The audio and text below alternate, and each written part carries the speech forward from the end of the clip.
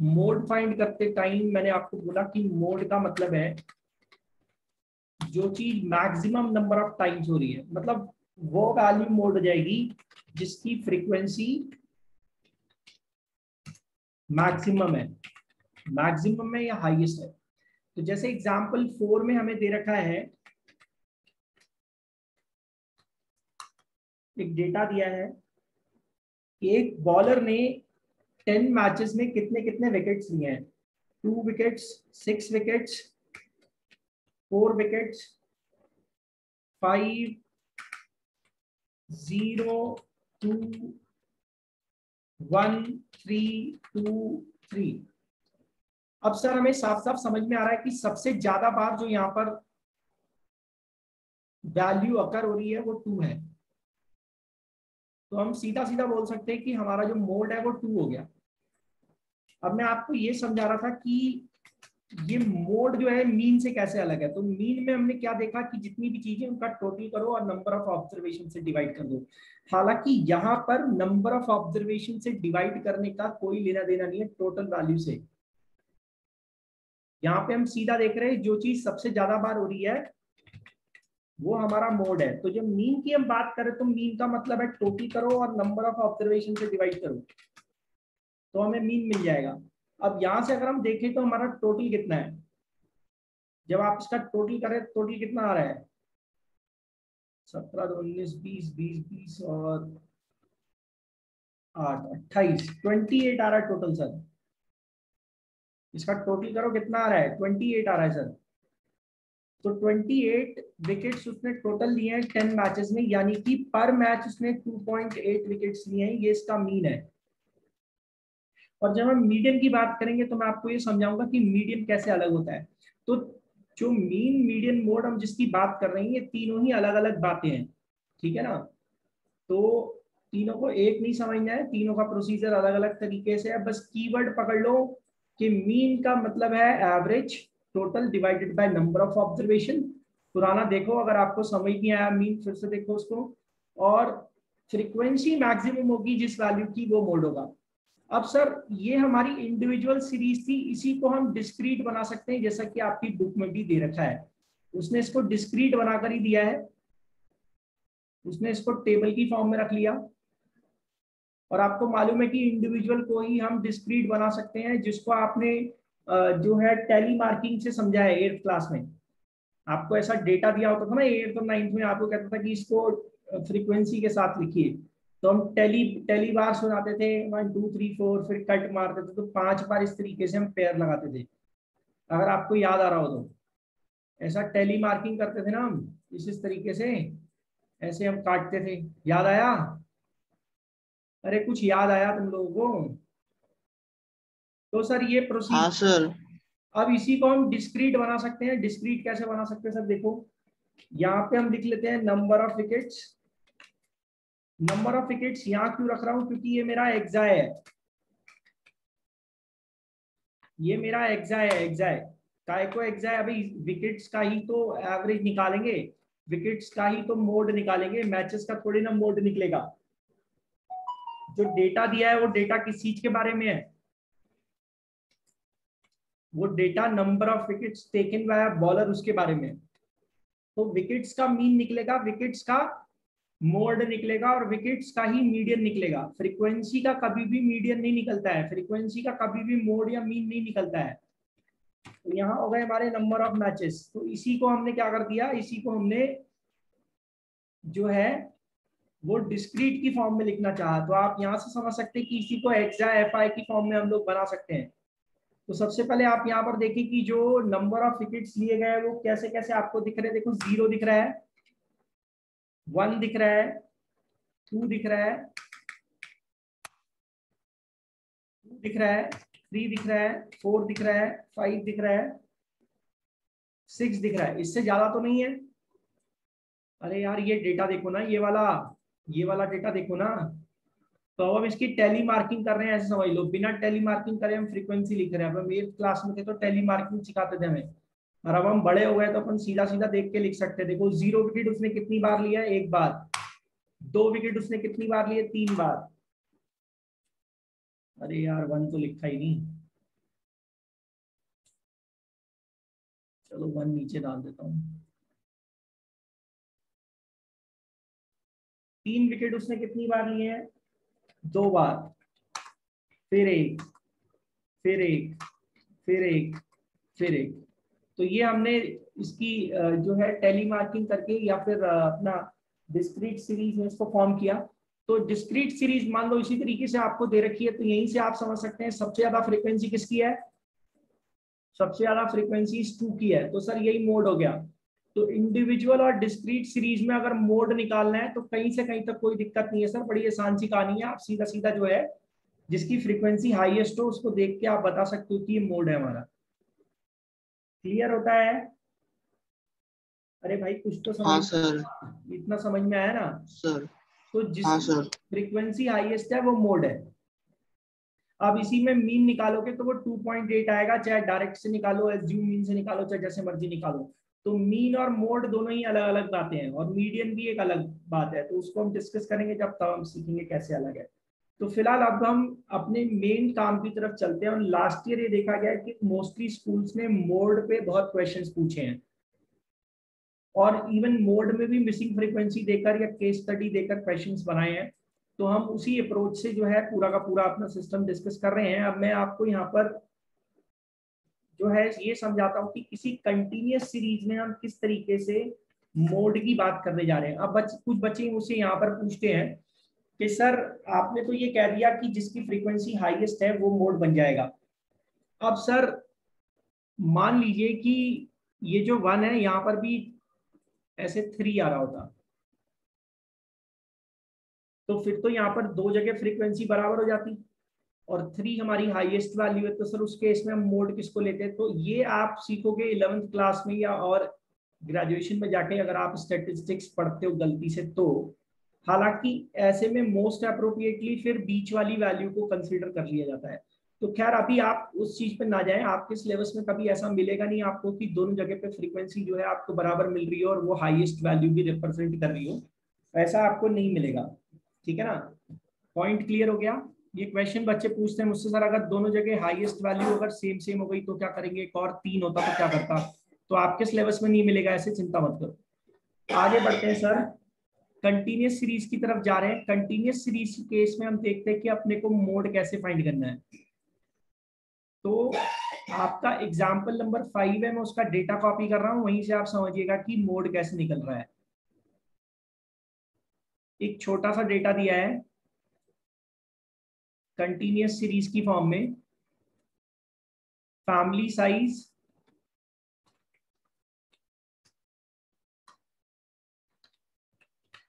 और यहाँ पर आपको दिया है नंबर ऑफ़ फैमिलीज़ मतलब फैमिली में कितने मेंबर्स हैं और ऐसी कितनी फैमिलीज़ हैं? तो फैमिली का साइज़ दे रखा है, कह रहा है ऐसी फैमिली जिनका साइज़ वन से थ्री है मतलब वन से थ्री मेंबर्स का है थ्री से फाइव मेंबर्स का है फाइव से सेवन मेंबर्स का है सेवन से नाइन मेंबर्स का है। मैं कोई बहुत ज़्यादा तो पढ़ा नहीं रहा, आपको बड़े आराम आराम से पढ़ा रहा हूँ थोड़ा थोड़ा तो बस उसी को समझते जाओ और उसको कवर करते जाओ। जितना पढ़ा रहा हूँ उसको डाइजेस्ट कर लोगे तो कभी ज़रूरत नहीं पड़ेगी आगे टेंशन लेने की, खासकर मैथ्स में।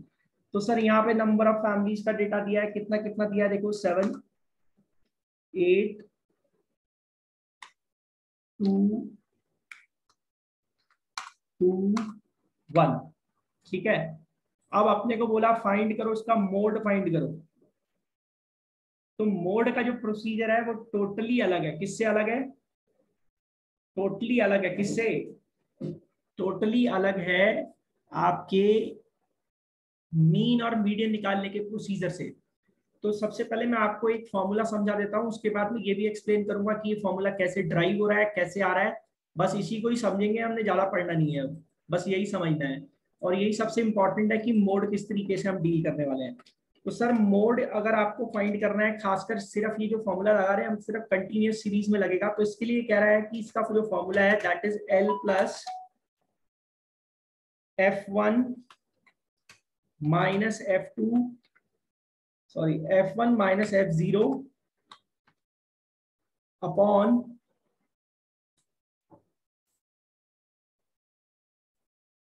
upon two F one twice of F one minus F zero minus F two और लास्ट में यहाँ पर उसने किया है इन टू एच तो अभी मैं एक्सप्लेन करता हूँ कि है क्या, पहले आप इसको समझ लीजिए कि ये किस तरीके से चल रहा है। ये फॉर्मूला सर आपको दिया है। मैं पूरा एक्सप्लेन करता हूँ कि कैसे ये ड्राइव हो रहा है, कैसे हम इससे पूरी की पूरी कहानी जो है यहाँ पर डिस्कस करने जा रहे हैं। तो ये सर फॉर्मूला दिया है, अब इसका एक्सप्लेनेशन भी मैं आपको दे दूँ। तो सबसे पहले आप यहाँ पर समझिए कि एल क्या है। तो सर ये जो एल है this L is actually lower limit of the modal class lower limit of the modal class modal class sir वो क्लास है जहाँ पर मोड लाए करेगा। ठीक है? अभी समझाता हूँ सारी कहानी। एच का जो वैल्यू है that is size of class interval आप कंटिन्यूस सीरीज़ में इसको अप्लाई कर रहे हैं और आपको मालूम है कि कंटिन्यूस सीरीज़ जो है वो क्लास इंटरवल में होती है। और कंटिन्यूस सीरीज़ की खासियत ये कि क्लास इंटरवल इक्वल होगा और कॉन्जिक्यूटिव क्लासेस का अपर लिमिट और लोअर लिमिट सेम होना चाहिए। अगर नहीं है तो हम बनाएँगे। जैसे नाइन्थ में आपने histogram of unequal class size जो था हमारा अनइक्वल क्लास इंटरवल उसको हम बैलेंस करके जो है फिर से रीराइट uh, करके बनाते थे। तो वैसी कहानी आप समझ सकते हैं कि कंटिन्यूस सीरीज़ नहीं है तो उससे पहले कंटिन्यूस में लेकर आना पड़ता है। तो सर, ये हमारा लोअर लिमिट है, वो बात का इशू जब मीडियन पढ़ाऊँगा तो सिखाता हूँ। लोअर लिमिट एच मैंने आपको समझा दिया। इसके बाद आप देखें तो ये एफ़ वन क्या है? ये एफ़ वन जो है this F one is actually frequency of modal class F zero जो आप देख रहे हैं this F zero is actually frequency of class preceding the model class. Modal class से एक क्लास पहले वाली फ्रीक्वेंसी एफ़ ज़ीरो है। एफ़ टू क्या है? F two is the frequency of the class succeeding succeeding the modal class modal class से एक बाद वाली जो क्लास होगी, उसकी फ्रीक्वेंसी एफ़ टू है। अब सर यहाँ पर हम समझने की कोशिश करते हैं कि ये है क्या? तो बेटा देखो, सिर्फ़ ये पाँच चीज़ें जो हम यहाँ देख रहे हैं, इन पाँचों की पाँचों चीज़ों में सिर्फ़ इस एच को छोड़कर आपको अभी कुछ भी पल्ले नहीं पड़ा होगा। ये एच तो पल्ले पड़ गया होगा कि हाँ साहब, ये क्लास इंटरवल है और क्लास इंटरवल हमें टू दिख रहा है। जो क्लास इंटरवल का साइज़ है वो टू दिख रहा है। लेकिन सर हमें ये समझ यहाँ पर नहीं आता है कि ये मॉडल क्लास क्या है और ये सारी चीज़ें क्या है। और आप देखो तो ये ये ये ये जो चार चीज़ें हैं, बाकी ये सारी की सारी मॉडल क्लास के ऊपर बेस्ड है, देखो। सब मॉडल क्लास के ऊपर बेस्ड है। तो इससे पहले हम समझे कि मॉडल क्लास है तो ये साफ़ साफ़ दिख गया कि सारी चीज़ें मॉडल क्लास के ऊपर बेस्ड है तो हमें मॉडल क्लास पहले समझ लेना ज़्यादा सही रहेगा।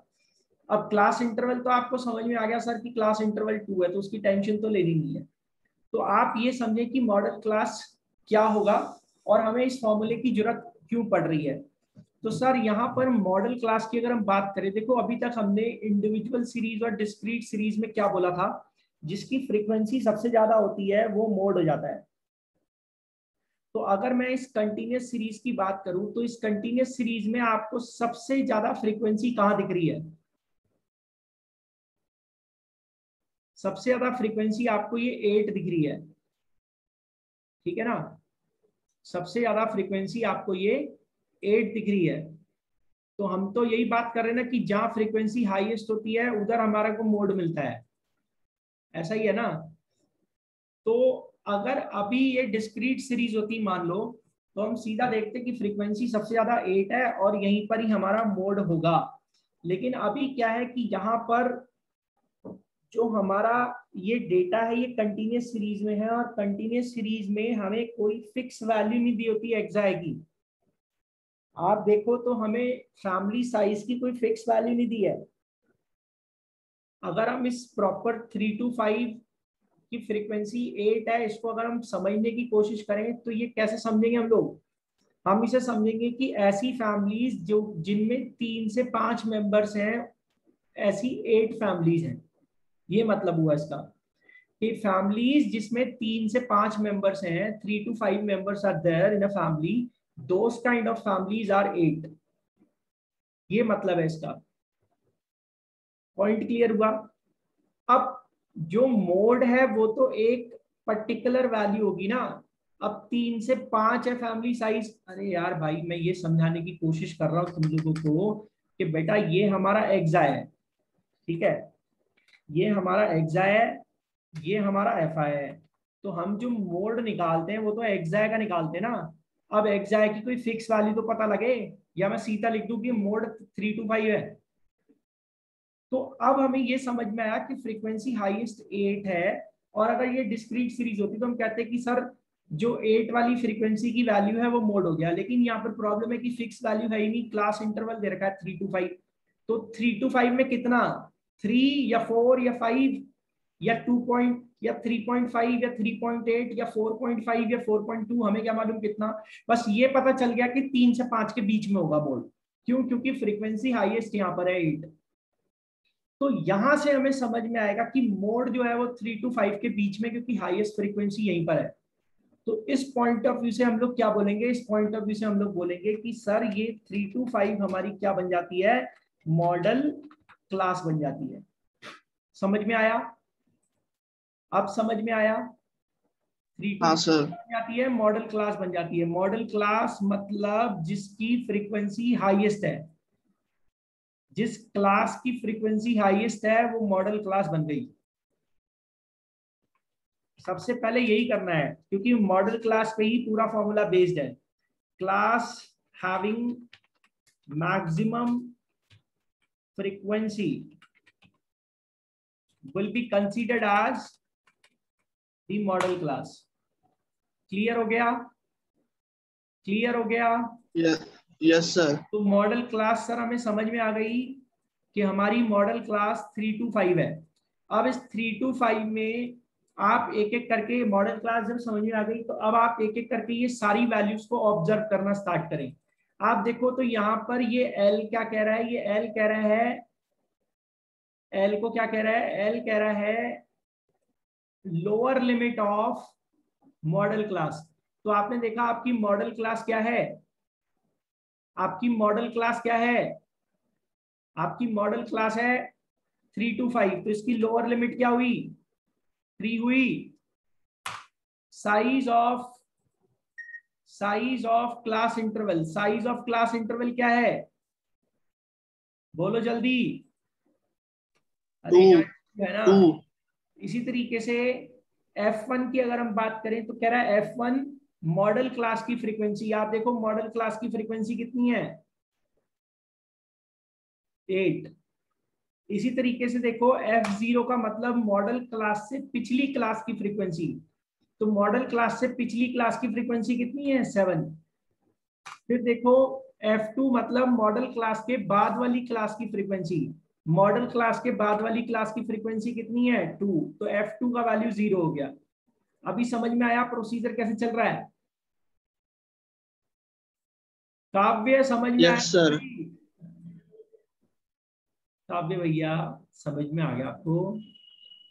Yes, पक्का? Yes, पक्का समझ में आ गया? अब जब सारी वैल्यूज़ मिल गई तो सर फॉर्मूले में पुट कर दो। तो मोड निकालना है। मोड मतलब लोअर लिमिट लोअर लिमिट कितनी है? थ्री थ्री में क्या करने वाले हैं? F one minus F zero F one का वैल्यू कितना है? एट एफ़ ज़ीरो का वैल्यू कितना है? सेवन इसको सर हम डिवाइड करने वाले हैं किससे? किससे डिवाइड करने वाले हैं? Two F one minus F zero minus F two तो टू एफ़ वन का वैल्यू क्या हुआ? टू इंटू एट इसमें से माइनस करेंगे एफ़ ज़ीरो यानी कि सेवन एफ़ टू यानी कि टू सारी वैल्यूज़ आप पहले ही निकाल चुके ऊपर। और इसमें मल्टीप्लाई कर देंगे कितने से? इसमें मल्टीप्लाई कर रहे कितने से? इसमें मल्टीप्लाई कर रहे हैं सर एच से यानी कि टू से। समझ में आया? अबे समझ में आया कि नहीं? हाँ सर। तो बस इसको सॉल्व कर दो सर। मोड निकल जाएगा और मुझे लगता नहीं कि इससे ज़्यादा आसान कोई तरीका है। सबसे इजी तरीका है सर फॉर्मूला याद कर लीजिए समझ लीजिए और कहानी खत्म। तो क्या आ गया यहाँ पे? थ्री प्लस वन अपॉन नीचे सॉल्व करो। सोलह माइनस नौ सात इंटू टू ठीक है? ठीक है भाई? यस सर अब इसको सॉल्व कर लो। तो ये हो गया हमारा three plus two by seven और three plus two by seven की वैल्यू के लिए सॉल्व करोगे तो कितना आ जाएगा? थ्री प्लस बोलो। अरे भी मुझे लिखना पड़ेगा। फाइव सिक्स ना।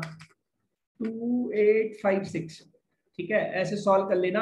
अब आपको इतना ज़्यादा करने की ज़रूरत नहीं है। आपको सीधा सीधा समझ में आना चाहिए कि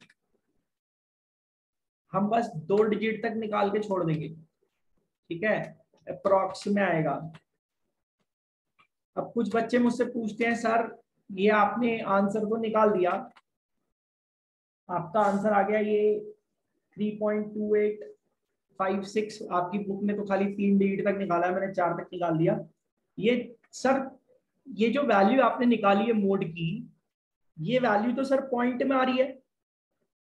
ये जो वैल्यू आप यहाँ पे निकाल रहे हो सर ये तो पॉइंट में आ रही है। और जो मोड हम जिसका निकाल रहे हैं, वो मोड तो सर फैमिली साइज़ का था। मोड जो हम निकाल रहे थे मोड तो हम फैमिली साइज़ का निकाल रहे थे ना। तो कभी किसी फैमिली का साइज़ पॉइंट में हो सकता है क्या? क्वेश्चन समझो। कभी किसी फैमिली का साइज़ पॉइंट में हो सकता है क्या? मैं ऐसे बोलूँगा 3.2 फैमिली है। 3.2 मेंबर्स की फैमिली है. 3.2856 मेंबर की फैमिली है. अब नंबर ऑफ़ मेंबर्स तो इंटीग्रल होंगे ना. तो ऐसा कोई रूल नहीं है कि मोड मीन मीडियन और मीन का वैल्यू जो है वो पॉइंट में नहीं आ सकता. ठीक है? नंबर ऑफ़ मेंबर्स पॉइंट में नहीं हो सकते लेकिन मीन मीडियन मोड पॉइंट में हो सकता है. समझ में आया? अरे आया समझ यस में ठीक है ना? क्योंकि हाँ, लार्ज स्केल पर जब डेटा लेंगे तो ये सेंट्रल टेंडेंसी की बात कर रहा है. तो ज़रूरी नहीं कि वैल्यू इंटीग्रल है यहाँ पर। पॉइंट में भी आ सकती हाँ है। ठीक है भाई? ओके सर तो ये स्क्रीनशॉट ले लो इसका। फिर मैं आपको एक क्वेश्चन जो है और यहाँ पर दिखाता हूँ जो मिसिंग फ्रीक्वेंसी पर बेस्ड होगा।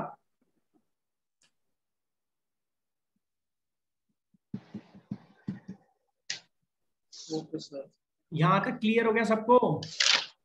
हाँ सर स्क्रीनशॉट लेके ना रीजॉइन कर लो दस मिनट के लिए।